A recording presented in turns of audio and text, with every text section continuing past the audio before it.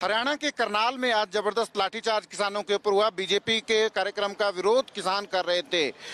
किसान नेताओं को गिरफ़्तार किया था पुलिस ने उसके बाद, और किसानों के द्वारा जगह जगह चक्का जाम किया जा रहा था। इस वक्त हम यहाँ करनाल में ये बस्ताड़ा ट्रैफ़िक टोल प्लाजा है।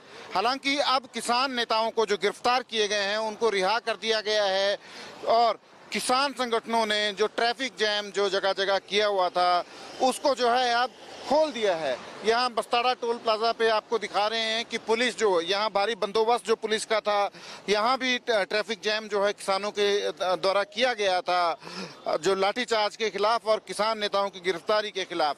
तो अब जो है पुलिस की गाड़ियाँ यहाँ से जा रही हैं, वापिस हो रहे हैं।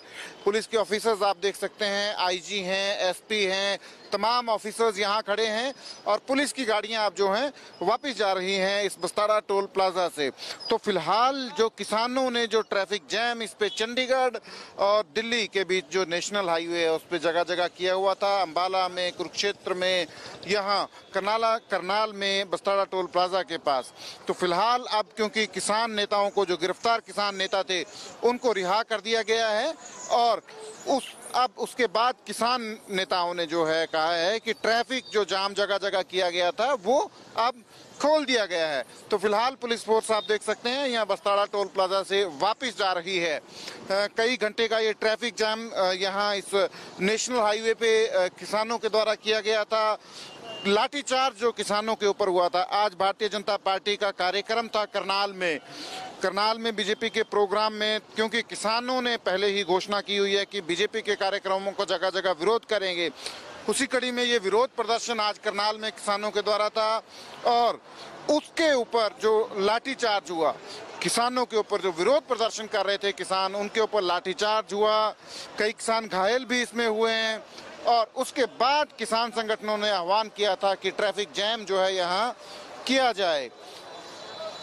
दिल्ली चंडीगढ़ नेशनल हाईवे पे ट्रैफ़िक जैम जो है किया गया था। अंबाला में यहाँ बस्ताड़ा टोल प्लाजा के ऊपर कुछ क्षेत्र के पास ट्रैफ़िक जो है, कई किलोमीटर लंबी लाइनें ट्रैफ़िक जी, ट्रैफ़िक की हमने देखी।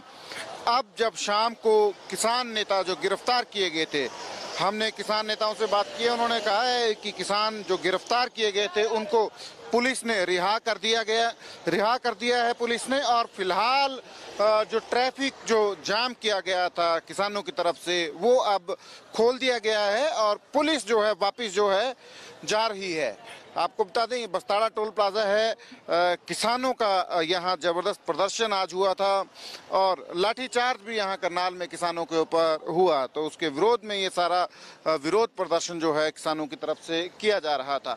तो फ़िलहाल जो है, जो चंडीगढ़ दिल्ली नेशनल हाईवे पे ट्रैफ़िक जैम जगह जगह किसानों द्वारा किया गया था, वो ट्रैफ़िक अब खोल दिया गया है क्योंकि जो गिरफ़्तार किए गए थे किसान नेता, आज करनाल में उन किसान नेताओं को जो है पुलिस ने रिहा कर दिया है। बहरहाल एक ज़बरदस्त लाठीचार्ज जो है किसानों के ऊपर आज यहाँ करनाल में हुआ था। बीजेपी के कार्यक्रम का किसान जो है, विरोध यहाँ कर रहे थे। फ़िलहाल ट्रैफ़िक जो है अब सुचारू रूप से इस सड़क पे जो है शुरू हो गया है। कैमरा पर्सन संदीप कालरा के साथ सचिन कुमार, एबीपी न्यूज़ करनाल